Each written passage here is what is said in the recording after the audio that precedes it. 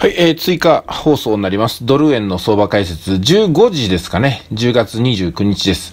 えー、今朝の放送に引き続いてなんですけども、今朝の放送では108円の782を超えてですね、上昇した時にエントリーということをこの冷やしでは申し上げました。今見てるのは冷やしですよ。えー、冷やしで、ここですよ。ここを超えたらっていうふうにお話ししましたよね。ここ、ここ、ここ。ここね、これが力点になってるよということで、この線を引きましたね。で、今ちょっと見えにくいと思いますけど、超えてるわけですよ。で、見やすいのは1時間ですね。1時間足見ているときに、108円の724っていうところと、108円の772に、えー、2つの線を今朝引きましたよね。この線ですよ。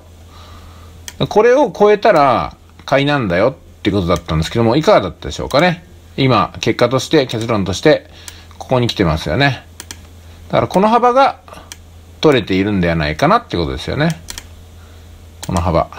なんか、曲線ができちゃってすいません。まあ、わかりやすく言うと、この幅が取れているんではないかなと。108円の980で今、止まってますけども、だから、私が今朝申し上げたところから20ピップスの差があるわけですよ。ですから、ここでは、えー、レンジじゃないですよ。レンジを抜けたんで、この20ピップスは根っこから頭まで取れているでしょ？っていうね、そんな、あオチでございました。で、またね、今に至っては、ボラティリティが落ち着いてきて、大きいのがこういうふうにちっちゃくなってるわけですよね。だからまた横ばいに入ったんじゃないかなっていうふうに見るわけですよ。で、私たちが取らないといけないのは、いつもここです。こういうふうな横ばいができて、こういうふうな横ばいができた、この間を取るわけですからね。で、動き出して、動き出したのを確認して、そこを取るわけなんですよ。ここも同じです。ここと、ここの間を取ったでしょ？こういうふうに。はい。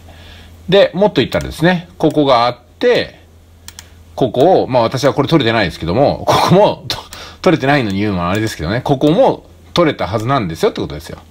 これは私取れてないですけどね。で、ここは取れる。ここは取れると。いうことでございます。だからエントリー入るときと入らないときって、あの様子を見るときって、このね、すごくはっきりしていると思うんですよ。ちなみになんですけども、うんと、これ。これは私取りませんでしたからね。